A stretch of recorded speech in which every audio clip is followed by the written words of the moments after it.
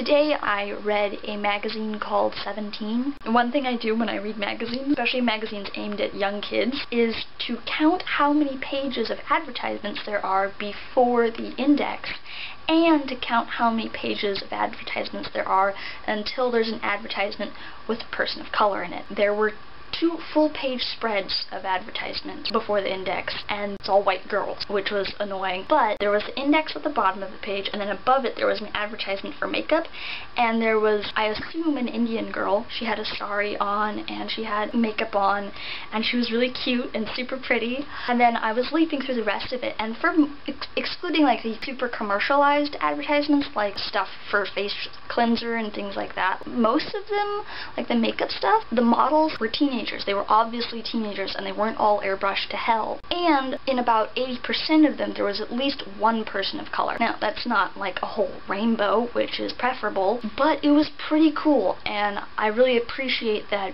the pictures inside the magazine that were taken for the articles, none of them were airbrushed that I could tell. Usually it's really easy to tell. You could see pores, you could see zits, you could see all kinds of stuff. You know, teeth, teeth that were obviously crooked were still crooked. They weren't magically straightened with Photoshop. There was this one article, they had a list of 17 teenage girls who were kicking ass and taking names. One girl, I can't remember her name, but she's a junior in high school and she's either 16 or almost 17, and she started her own company. It's something to do with keeping the world green and eco-friendly, and she started out when she was a little kid just making headbands out of scraps of fabric she found around the house, and people wanted those, and so she made more, and now she's working on her company. She makes clothing out of retro and vintage and like found and recycled fabric, which is really cool. And there were a couple other girls. That girl, she was African American, and then the next person was white, and then like the next three people on the list were all different people of color, and it was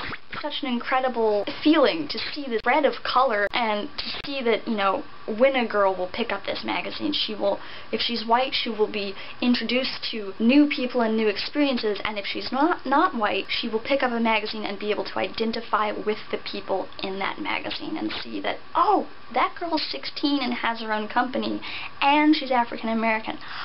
I too am not white, and I could do that too. Um, another cool article they had, it was just a one-page spread, and it was talking about celebrity fad diet, and it used clear and concise language to debunk those diets and explain what's wrong with them and why you shouldn't do them and the things you can do instead. It was it was really refreshing. In People magazine, they say, "Oh, this is the new celebrity fad diet. You know, you should try it. Drink nothing but green tea all day, and you'll magically become slim." But in Seventeen they said that, you know, if you don't drink anything but green tea all day, it will slow your metabolism down because you're not getting enough calories.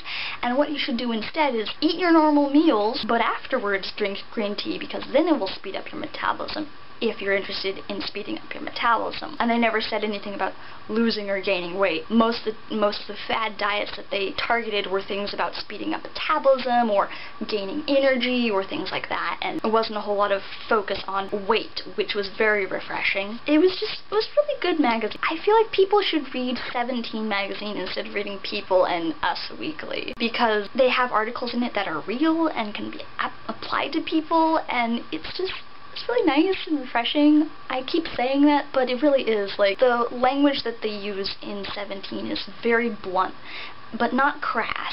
It's very down to earth, like, just what teenage girls need to hear and need to read when they're growing up. So, that was my day today. I went to work, I read Seventeen. Good talk.